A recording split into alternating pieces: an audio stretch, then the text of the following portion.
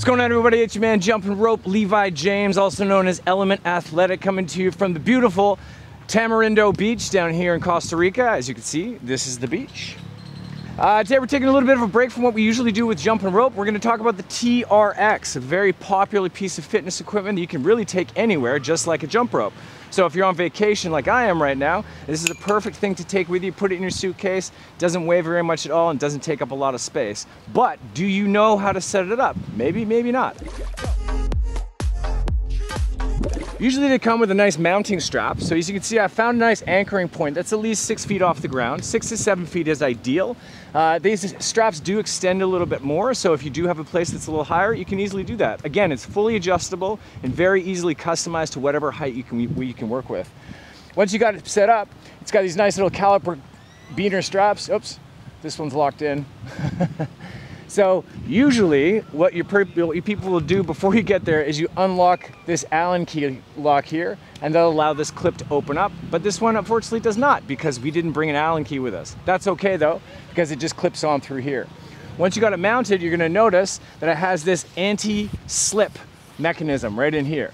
So what that does, it helps you prevent fully slipping out when you pull from one side to the next, right?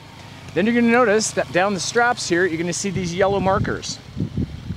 You wanna make sure that those ones are lined up so the straps are the same length. So you don't actually have to measure anything, you just have to line up the single lines and then the double lines. That way you're not gonna be one side longer than the other because you'll notice that when you do any pulling or pushing exercises, you want your hands to be even so that you're not pulling or pushing on different sides to make everything nice and square as possible.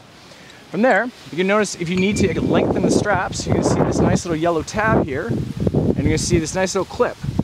Push the trigger down, it's gonna unlock it, grab the part of the strap that's not attached to the yellow, and pull through. That's gonna make it longer. That's how you do it. So when you're mounting it, we're about, about at seven foot height here, maybe it's like two, just over two meters. I wanna make sure that the handles rest about, right about hip level. So I'm gonna grab the yellow tab, press down here, and pull it up. Because I've got the markers here, I'm gonna make sure that both sides are the same. So as you notice, one side's a little bit lower, so I just pull this up. Grab these guys here, line up my yellow markers, look down here, are my handles at the same length? No, they are not. So I'm gonna fully adjust it. Beep, boop, beep. There we go. Now as I pull, I notice that my handles are the same length. So now when I do any exercises, whether it's pulling or pushing, I'm gonna be nice and even there. So it's gonna feel a little bit more stable as I pull. Give it a good little tug before you put any weight on it just to make sure that your mounting strap is not gonna slide anywhere. You're not gonna slip out of the mount right at the top there. You will notice there is a little bit of play back and forth, but it's not gonna fully slide out. All right, it's a nice little feature they added in.